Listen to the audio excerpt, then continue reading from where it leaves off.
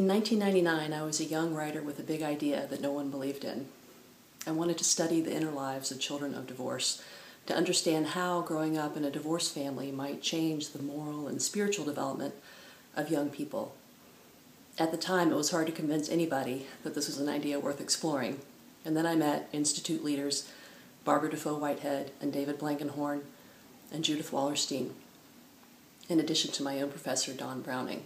And together, they helped me launch a project with Professor Norval Glenn at the University of Texas that culminated in a book of mine that came out in 2005 called Between Two Worlds The Inner Lives of Children of Divorce. Since that time, I've been able to go on to engage the conversation about the inner lives of other young people who often don't have voices in today's society. That work is deeply important to me. It's comes straight from my heart, and it's only at the Institute that I've been able to find a intellectual home a community of scholars and friends who have given me a chance to do what I believe I was put here to do.